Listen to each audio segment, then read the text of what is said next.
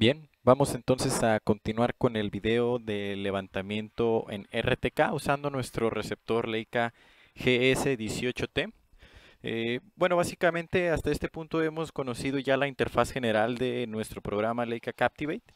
Eh, hemos conocido algunas de las aplicaciones o las funciones que podemos llegar a desarrollar con él y eh, cómo crear una plantilla de trabajo para poder realizar levantamientos tanto estáticos, cinemáticos y también levantamientos en tiempo real. Eh, en este video vamos a enfocarnos específicamente a los levantamientos o el flujo de trabajo de un levantamiento usando la metodología de observación RTK. Eh, para ello creamos este proyecto llamado GS18T. Aquí lo primero que hay que revisar, eh, en la parte superior nosotros encontramos en la posición del GS ese símbolo que nos indica que tenemos una solución RTK fija.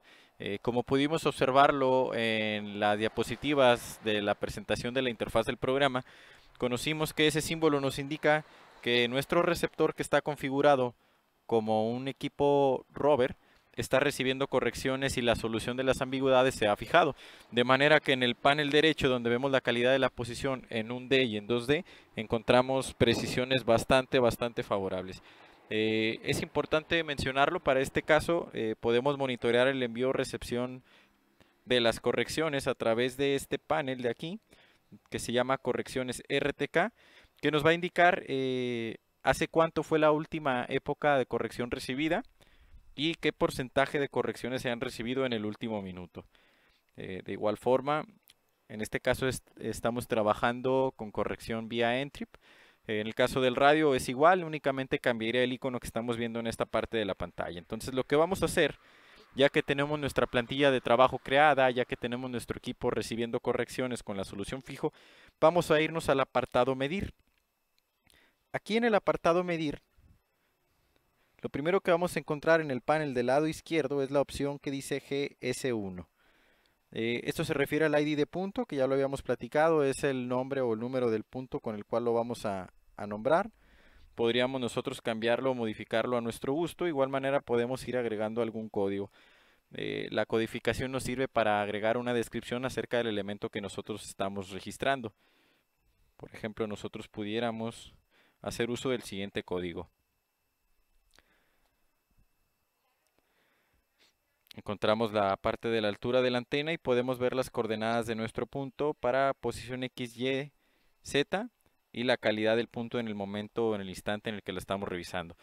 Eh, platicábamos acerca de las páginas que podemos nosotros agregar.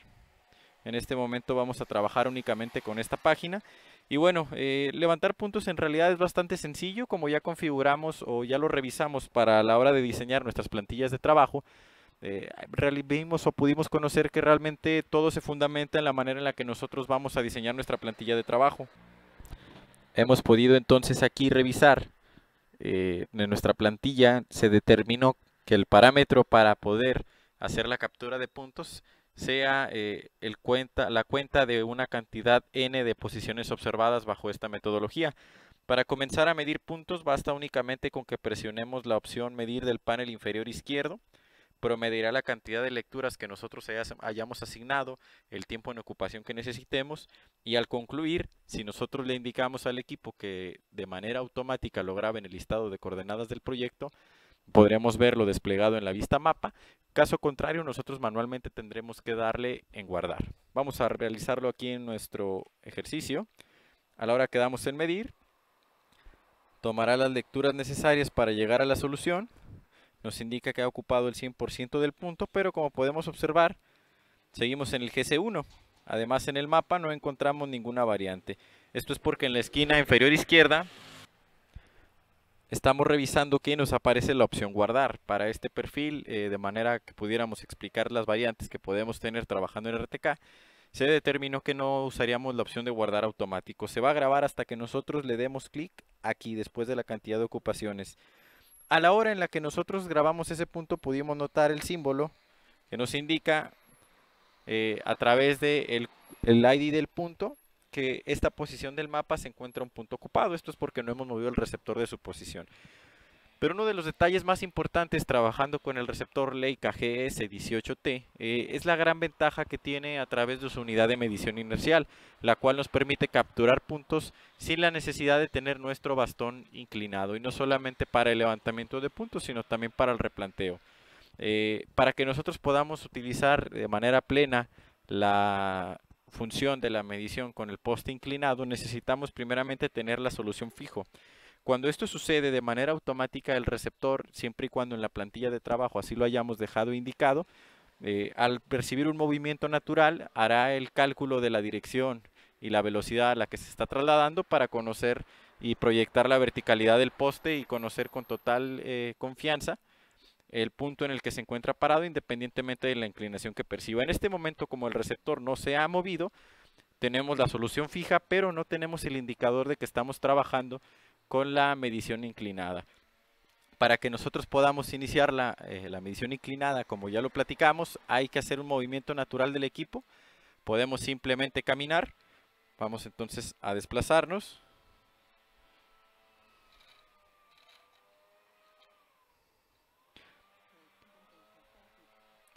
En cuanto el receptor percibe o detecta algún movimiento, nosotros vamos a notar cómo en la parte superior de nuestro programa Leica Captivate, se activa esta burbuja en color verde que me está mostrando o me indica que puedo medir puntos ahora con mi bastón totalmente inclinado, lo cual es una gran ventaja si nosotros deseamos hacer levantamientos con la metodología RTK, lo cual le da mayor calidad y confiabilidad al trabajo que estemos desarrollando. Nosotros podemos entonces eh, realizar un poco más de suma aquí a la zona donde estamos trabajando. Vamos a continuar aquí. Vamos a volver a mover el bastón un poco para colocarlo en el punto que es de nuestro interés. Al llegar al punto que nosotros necesitamos, vamos a dar nuevamente en medir. Pasará la cantidad de épocas necesarias. Nos indica guardar. Y podemos ver cómo ese punto se ha guardado. Nosotros podemos de manera opcional decidir si trabajamos o no con esta función. La verdad es que es bastante, bastante práctica. Eh, recomendamos ampliamente su uso para todo tipo de proyectos. Eh, recordando nada más que para las grabaciones o el registro de datos crudos no está habilitada. Eh, tras transcurrir 30 segundos sin movimiento, el receptor lo que va a realizar es que va a detener la compensación de la inclinación. Aquí yo me encuentro moviendo el bastón. Como ustedes pueden notar en la pantalla, pueden ver los cambios de dirección a través de un vector que me indica el movimiento que está realizando mi equipo. Entonces, vamos a ocupar un nuevo punto.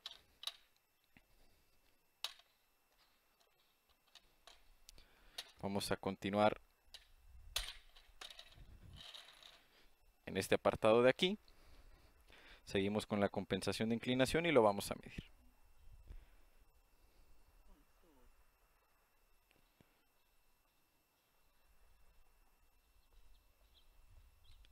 Podemos, como lo platicamos anteriormente, aumentar o disminuir el zoom en un momento determinado. Vamos a seguir en esta parte de acá, revisando eh, los valores de nuestra calidad en la posición. Y como lo platicamos en hace unos momentos, al transcurrir un periodo de inactividad del movimiento en el equipo, nuestro compensador de inclinación se va a desactivar de manera automática. Son aproximadamente 30 segundos en los que no debe de haber movimiento para que esto suceda.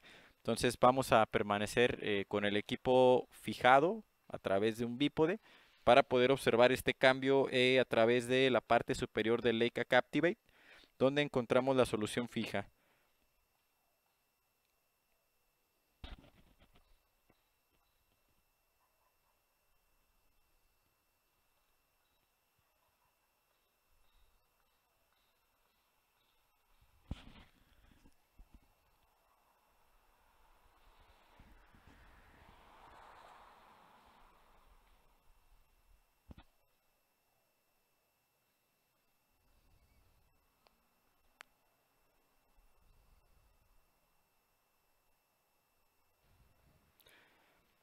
Tras algunos momentos de inactividad, podemos notar nuevamente, hemos cambiado de posición, ni de punto, que nuestro equipo detuvo el uso de la compensación de inclinación.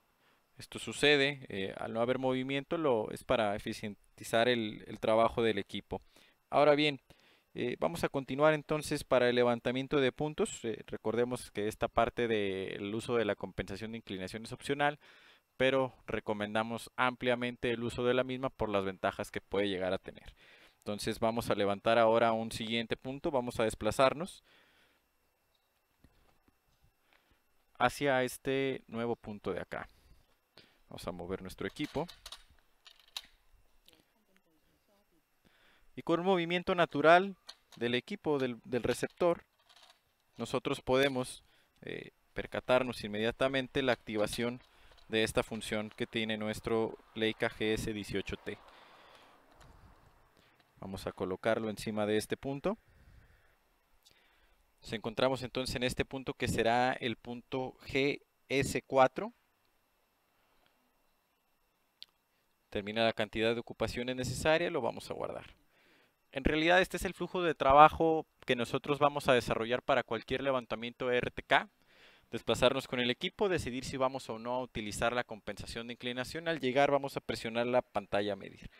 Entonces, eh, en realidad, dentro de las otras funciones que nosotros podemos conocer, revisamos ya en videos anteriores las opciones que nosotros tenemos aquí en la pantalla con las cuales se, platicó la utilidad que pudieran llegar a tener en un momento determinado, la tecla función y lo que podemos desarrollar, desarrollar en él. Podemos activar o desactivar las páginas como se vio anteriormente. Entonces, eh, levantamiento en RTK, en realidad, este es el equipo rover más rápido del mundo. A través de esta función podemos nosotros trabajar de una manera eficaz y confiable. Esta es la manera entonces en la que vamos a desarrollar todos los levantamientos RTK trabajando con el Leica GS18T.